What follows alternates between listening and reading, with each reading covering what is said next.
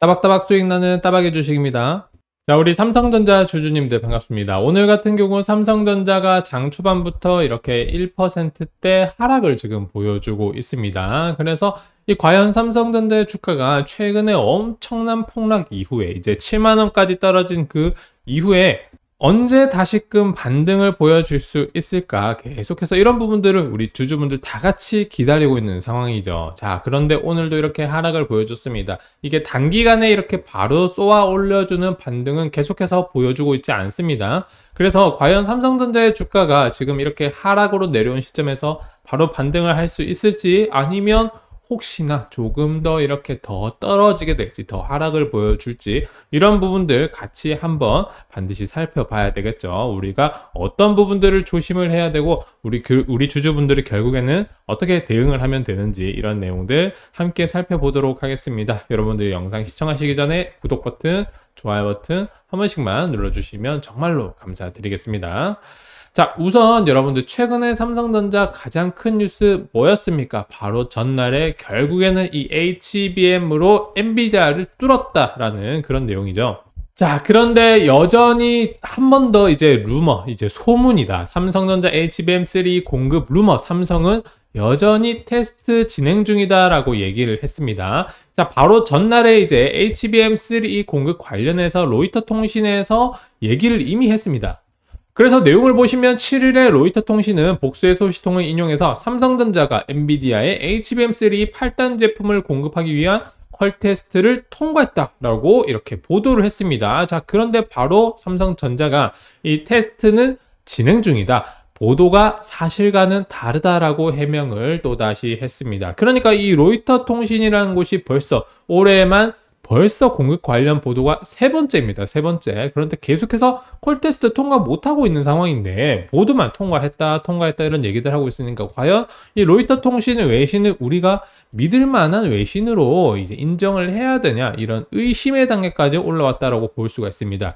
그러니까 여러분들 결국에는 어때요? 이 언론사들을 조심해야 됩니다. 언론 기사 그대로 믿으면 안 된다. 그대로 믿으면 여러분 당할 수가 있다라고 말씀을 드리고 싶습니다.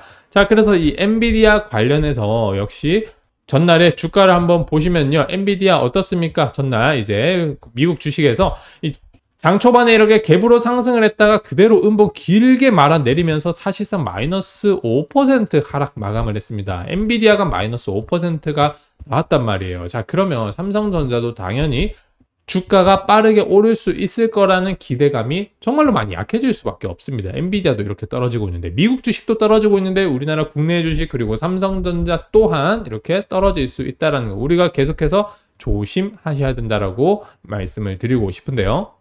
자, 그럼에도 불구하고 자, HBM을 믿는 개미들 바겐세일에 삼성전자 SK하이닉스의 B2를 시작하고 있다. 지금 빚을 내 가지고 이제 뭐 신용거래뿐만 아니라 따로 이제 대출까지 내 가지고 계속해서 삼성전자 SK하이닉스를 지금 강하게 아주 강하게 매수를 하고 있는 개인 투자자들인데요.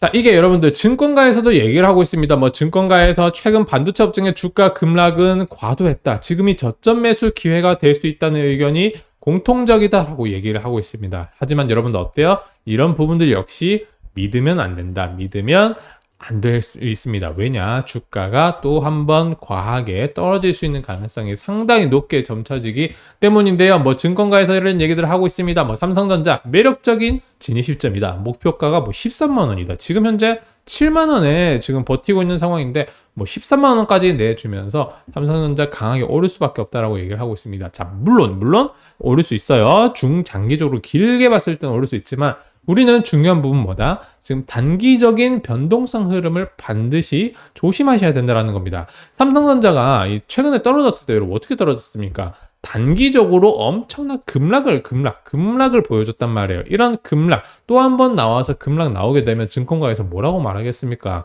아 그냥 이건 뭐 단기적인 변동성이다. 또 한 번 저점 매수 기회다 이런 얘기들 하고 마는데 결국 지금 중요한 건 지금 여기서 또다시 급락이 나오지 않을까 이런 부분들이 가장 중요하다라는 거예요. 자 그런데 여러분 이런 부분들 제가 말씀을 드리죠. 오늘 무슨 날이다? 오늘은 옵션 만기일이다. 옵션 만기일. 제가 계속해서 눈을 말씀드립니다. 8월 8일 옵션 만기일이고 이날에는 주가가 아직까지 받쳐지는 흐름이 나온다라는 거예요. 누가 개인과 기관 아 기관과 외국인들이 이 종합 지수, 시장 종합 지수, 코스피 지수를 받치는 흐름이 나오는 게 8월 8일이고요. 내일 8월 9일부터 이제 바로 다음 주까지 해서는 이제 받치는 흐름이 없다 보니까 다시 한번 시장이 조금 흐를 수 있다. 흐를 수 있으니까 반드시 아직까지 제대로 된 대응 시점은 아니다. 매수 시점이 아니라 여러분들 진짜 매수 시점 나왔을 땐 제가 우리 구독자분들한테 따로 알려드리고 있다 말씀을 드렸습니다. 최근에 이 폭락 시점 8월 1일 폭락 시점에 이거 폭락 패턴 나왔다. 반드시 비중 줄이고 도망쳐라. 우리 구독자분들에게 말씀을 드렸던 것처럼 다시금 매수 타점에 대해서 안내를 해드릴 건데요. 이 매수 타점에 대해서는 제가 우리 구독자분들에 대해서 삼성전자의 매수, 매도 타점에 대해서 안내를 해드리고 있습니다. 그래서 지금 최근에도 매도 타점 해드렸던 것처럼 또 한 번 주가가 떨어졌을 때 매수 타점 다들 기다리고 있는 시점인데 지금은 조심하셔야 된다. 제가 진짜 타이밍이 왔을 때 말씀을 드릴 거다 말씀을 드리는 거고 이런 부분들 알고 투자를 하시면 당연히 여러분들 수익 보시는데 큰 도움이 되실 수밖에 없으니까요. 같이 한번 살펴보시면 되시겠습니다. 자, 덩달아서 타점뿐만 아니라 실시간 대응 전략까지 제가 공유를 해드리고 있습니다. 실시간으로 그때그때 바로바로 안내를 해드리는 부분이고 영상은 이제 제가 찍는 시간도 있고 있고 여러분들이 시청하는 시간도 있다 보니까 실시간 대응이 어려운 점이 있습니다. 자, 그래서 실시간 대응 전략까지 바로 공유를 해 드리겠습니다. 우리 구독자분들에 대해서 해드리는 거니까 따로 저한테 신청을 해주시면 제가 바로 안내해 드릴게요. 참여 신청 방법은 간단합니다. 아래 있는 제 개인 번호 010-9516-4935 번호로 저한테 삼성전자라고 문자 한 통만 저한테 보내주시면 제가 이런 내용들 바로 안내를 해 드릴 거고요. 특히나 지금 최근에 변동성, 이 변동성이 너무나 큰 시장입니다. 지금 이렇게 변동성이 클 때 여러분들 큰 돈을 잃을 수도 있다. 하지만 잘만 하면 큰 돈을 벌 수 있는 기회가 될 수 있습니다. 이런 기회를 놓치지 마시고요. 놓치지 마시고 같이 한번 함께 대응을 해 나가면서 이렇게 할까 저렇게 할까 고민하지 마시고 방향성 잘 잡고 투자를 하시면서 수익 내시면 되시겠습니다. 우리 구독자분들을 한해서 제가 안내를 해 드리는 부분이니까 구독 버튼 눌러주시고 제 번호로 저한테 참여 신청 보내주시면 제가 바로 이런 내용을 안내를 해 드릴 거고요. 자, 역시나 중요한 내용은 결국에는 이란과 이스라엘의 전쟁 얘기가 지금 너무나 중요합니다. 보복 수위를 고심 중이다. 12일에서 13일 공격 가능성 얘기가 나오고 있는 상황인데, 여러분, 진짜 공격을 하게 된다고 한다면 과연 그 규모가 어떻게 될지 그리고 커질지 이런 부분들 봤을 때 결국 어떻습니까? 오늘 그리고 내일이 지나서 다음 주 초반까지 주가가 떨어질 폭락할 수 있는 위험이 상당히 높아지는 흐름이 계속해서 전개가 되고 있는 상황입니다. 자 그렇기 때문에 지금 이란과 이스라엘의 전쟁 관련해서도 우리가 추적을 해야 됩니다. 추적을 해야 되는데 여기서 중요한 건 뭐다? 전쟁이 발발했어. 실제 공격을 이란이 이스라엘을 공격을 했습니다. 그러면 어떻게 되냐? 주가가 한번 이렇게 떨어졌다가 그 뒤로 다시금 폭발적으로 반등하는 그런 타이밍이 나올 수 있습니다. 그러니까 오히려 이런 전쟁에 대한 부분들 우리가 진짜 매수 기회로 삼으셔야 된다는 겁니다. 언제 제대로 모든 리스크가 터지고 제대로 모든 전쟁 공격 이런 것들이 표면으로 드러났을 때 그때가 정말로 매수 타점이 될 수 있고요. 실제로 그런 타점이 왔을 때 수급이 시장에 들어옵니다. 그 수급을 따라서 빠르게 빠르게 진입을 해야 되기 때문에 이런 부분들은 어떻다? 우리가 조심해야 되기도 하지만 반대로 말씀드렸지만 기회가 될 수 있다. 같이 살펴보면서 우리 구독자분들 함께 대응을 해보시면 되시겠습니다. 자, 여러분들 이번 영상은 제가 오늘 여기까지 하도록 하겠습니다. 구독 버튼, 좋아요 버튼 한 번씩만 꼭 눌러주시고요. 여기까지 하도록 할게요. 시청해주셔서 감사드립니다.